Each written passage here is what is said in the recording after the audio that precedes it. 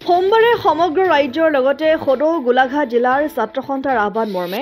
ধনশিৰি মহকুমা ছাত্ৰ সন্থাই মহকুমাটোৰ সমূহ আঞ্চলিক ছাত্ৰ সন্থা আৰু শাখা ছাত্ৰ সন্থাৰ সমূহ সমিতিৰ সহযোগত সৰুপথাৰ বিদ্যুৎ উপ সংমণ্ডল কাৰ্যালয়ৰ সন্মুখত এক মানৱ শৃংখল কাৰ্যসূচী ৰূপায়ণ কৰি উত্তাল প্ৰতিবাদ সাব্যস্ত কৰে। সৰ্বসাধাৰণ ৰাইজক স্মাৰ্ট মিটাৰৰ নামত জ্বলা কলা খুৱাইছে। চৌবিছ ঘণ্টাই বিদ্যুৎ যোগান ধৰাৰ নামত এতিয়া চাৰি ঘণ্টাও ভালকৈ বিদ্যুৎ নাথাকে বুলি ক্ষোভ প্ৰকাশ কৰে। হাতে হাতে প্লে কাৰ্ড লৈ স্মাৰ্ট মিটাৰ বন্ধ কৰিব লাগে। বিজেপি চৰকাৰ লে লে চেই চেই বিদ্যুৎ বিভাগ হাই হাই সদৌ অসম ছাত্ৰ সন্থা জিন্দাবাদ আদি শ্লোগানেৰে সমগ্ৰ পৰিৱেশ উত্তাল কৰি তোলে। অসম চৰকাৰে স্মাৰ্ট মিটাৰ বন্ধ নকৰিলে তথা বিদ্যুৎ যোগান নিয়মীয়া আৰু বিদ্যুৎ মাচুল হ্ৰাস নকৰিলে অনাগত দিনত ইয়াতকৈও জংগী আন্দোলন কৰাৰ হুংকাৰ দিয়ে। তেওঁলোকে কয় যে বিজেপি চৰকাৰখনে অসমৰ সৰ্বসাধাৰণ ৰাইজক লুটিপুটি খাই এচাম পুঁজিপতিহে সহায় কৰিছে। আচলতে যিটো দলে টুৱেণ্টি ফ'ৰ ইণ্টু ছেভেন বিদ্যুৎ যোগানৰ প্ৰতিশ্ৰুতিৰে শাসনলৈ আহিল সেই দিনৰ দলটো চৰকাৰখন চলি থকাৰ পিছত আচলতে বিদ্যুতৰ যি অনিয়মীয়া বিদ্যুৎ যোগান এই কথাত আমি ছাত্ৰ সন্থাই ধিক্কাৰ জনাইছোঁ গৰিহণা দিছোঁ মূল কথাটো হ'ল স্মাৰ্ট মিটাৰৰ নামত জনসাধাৰণক যি আতিশাৰ্য চলাইছে জনসাধাৰণৰ মূৰত যি মাধ মাৰ আছে এই কথাটো বন্ধ হ'ব লাগিব। বন্ধ নোহোৱা পৰ্যন্ত কিন্তু ছাত্ৰ সন্থাৰ ক্ষান্ত নাথাকোঁ আমি ছাত্ৰ সন্থাই প্ৰতিবাদী কাৰ্যসূচী ৰূপায়ণ কৰিবলৈ সাজু আছোঁ। তাৰ লগে লগে কিন্তু বিদ্যুতৰ মাচুলো হ্ৰাস হ'ব লাগিব এই কথাটো আমি ছাত্ৰ সন্থাই দাবী জনাইছোঁ। অন্যথা কিন্তু আমি ছাত্ৰ সন্থাই ক্ষান্ত নাথাকোঁ। চাওক যিখন আচলতে চৰকাৰে শাসনত গাদী বহিছিলে মুখ্যমন্ত্ৰীগৰাকীয়ে কৈ থাকে নিজকে স্মাৰ্ট বুলি। তাৰ পাছত মুখ্যমন্ত্ৰীগৰাকীয়ে কি কাম কৰিছে অসমৰ ৰাইজে দেখিছে। তাৰ পাছত আহিলে স্মাৰ্ট চিটি আৰু সেই স্মাৰ্ট নামটো ব্যৱহাৰ কৰি স্মাৰ্ট চিটি কৰিলে এবুকু বানপানী।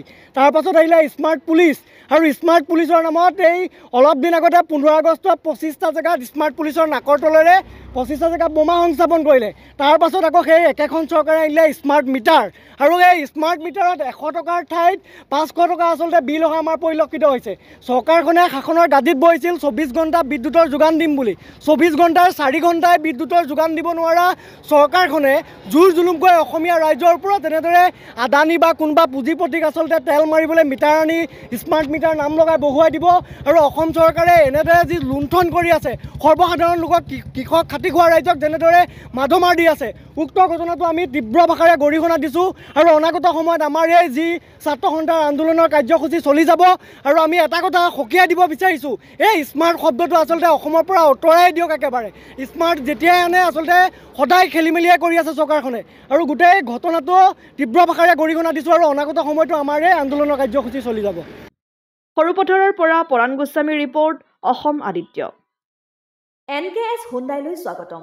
নৰ্থ ইষ্টৰ প্ৰথম G D S I two point zero' features dealer হৈছে এন কে এছ হুণ্ডাই অত্যাধুনিক সা সুবিধাৰে তৈয়াৰী মষ্ট আপডেটেড হুণ্ডাই ডিলাৰ এতিয়া ডিব্ৰুগড়ত।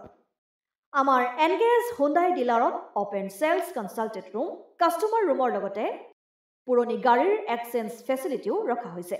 ইয়াত চেলছৰ লগতে ছাৰ্ভিচ ছেক্টৰৰ সুন্দৰ সুবিধা আছে। প্ৰয়োজনীয় সকলো এডভান্স টুলছ হুইল বেলেঞ্চিং এলাইনমেণ্টৰ অত্যাধুনিক machine post hydraulic lift fully trained man পাৱাৰৰ লগতে nitrogen gas filling facility fully automatic car ৱাছৰ ফেচিলিটিও আছে। লগতে এন কে এছ হুণ্ডাই ডিলাৰে কাষ্টমাৰসকলৰ সুবিধাৰ্থে মোবাইল ছাৰ্ভিচ ভেনৰো ব্যৱস্থা ৰাখিছে য'ত হাইড্ৰলিক লিফ্ট ৱাশ্বিং facility wheel balancing tyre pressure check কৰাৰ লগতে বহুখিনি সুবিধাই উপলব্ধ আছে। এন কে এছ হুণ্ডাইলৈ আহক আৰু সুবিধাসমূহ গ্ৰহণ কৰক।